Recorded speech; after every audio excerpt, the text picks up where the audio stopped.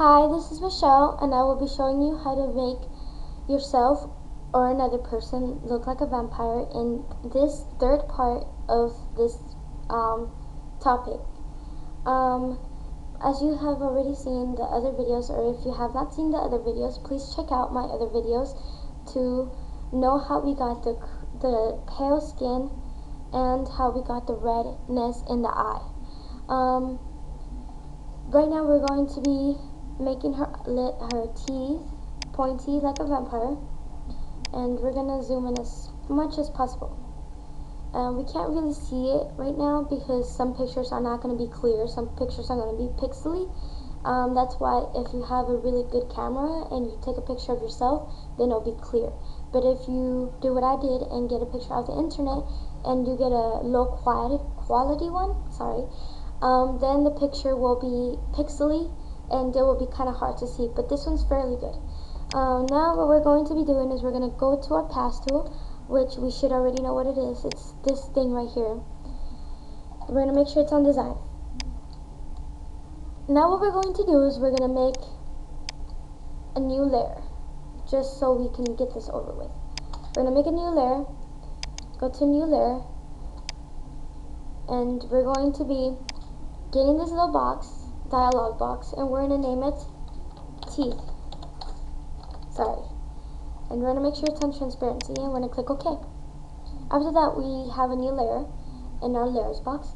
And now what we're going to take is our path tool and we're going to go like this and just click like that. And we can adjust it so it looks a bit better. And now we're gonna make, okay, well, what I just did is we're going to make um, like a triangle. We're going to make three points. One on this side, one down here, as long as you want it to be. I made it fairly short. And another one right here, right where this one is. What we're going to be doing now is we're going to click shift on our keyboard, we're going to left click, and we're going to be doing the same thing about the same area. So right there. And the same place over here. We're going to be trying to get the whole tooth in so it looks a bit natural, or a bit more natural. And right now it doesn't really good, look good, but what we're going to do is we're going to go selection for path, and as I said before, if you cannot um, get, if you do not get that dialog box and be underneath your color pick, picking thing, sorry, excuse me, you can go to select and select from path. Um, my computer's being a bit slow. Okay, now we have that, and we're going to go to our toolbox, and we're gonna be clicking the color picker tool. And we're just going to be clicking on the tooth that we just, um, first what we're going to do is we're going to click on the background layer so we can get the right color. So you see, if I do it on um, the teeth layer and I try to click, it's going to turn black. But if I click on the background layer and I click on the tooth, it's going to turn a creamy white color. So now what we're going to do is we're just going to leave it on the on that and we're going to make sure that we get the color of the tooth that we want to color and we're going to be getting our brush and we're going to get our fuzzy circle fuzzy brush number 19 now we're going to make this this brush like this big. Um, and we're going to go back to our layers box so we're to click on our teeth layer. Okay. Once we've done that, we can color in the tooth without actually messing up the picture. And so we can delete or erase whatever it is that we have messed up on. Okay, now that looks kind of not good. But what we're going to do is we're going to zoom out and see how it looks. And that looks a bit unrealistic but you can make it as long as or as short as you can as you want. And what we're gonna do now is we're gonna go to our um, filters right here. And it doesn't show it on that side so I'm gonna be doing it like this okay we're gonna go to our filter thing and we're gonna go to blur And again, you won't be able to see it, so I'm to go over here.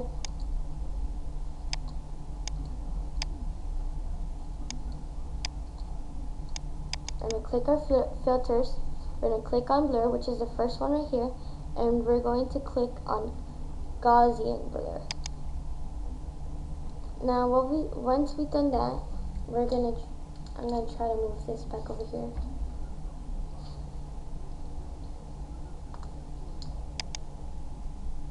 Okay. Once we got, we've done that. Um, we're gonna have to wait a bit for the picture to, for the Gaussian blur to load up. So while we're doing that, I will be telling you what I will be trying to do for the next um, topic uh, of GIMP, manip uh, image manipulation. Um, so the next topic, and this is just like a vote to see if this would um, be watched, is um, how to make a picture look vintage. Um, well, here's the Gaussian blur thing. And we're going to be, previews right there, we're going to make it about 7.0 and we're going to click OK and see now it looks a bit more natural. Okay? That is how you make um sorry about that kind of messed it up once I unclicked it. So I'm going to redo the Gaussian blur um, real fast. Okay? Um but like I was saying before about the topic of the vintage uh, just comment down there and tell me if you want me to do that. Okay we're gonna make it for about 6.0 or 6.0 that looks good. Okay. And that is what we're gonna be doing. So that is all. That's how you make someone look like a vampire. And it should look a little better if you sorry about that if you use a regular brush. I thought it would make it a little bit more soft looking if um if you used a circle fuzzy. So what I'm going to do right now is I'm going to redo the, the whole thing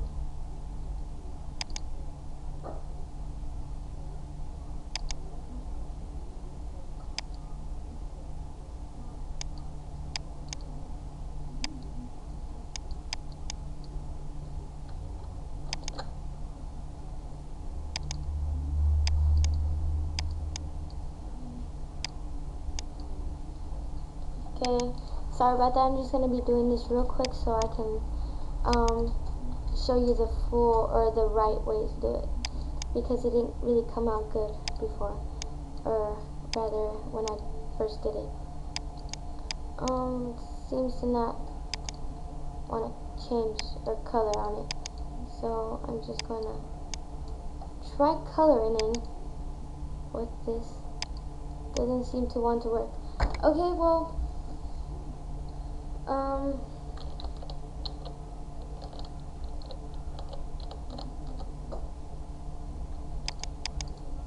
this is how it would look, but it should look a bit more darker. So I'll just um, leave you with that, and hopefully um, you'll get it right.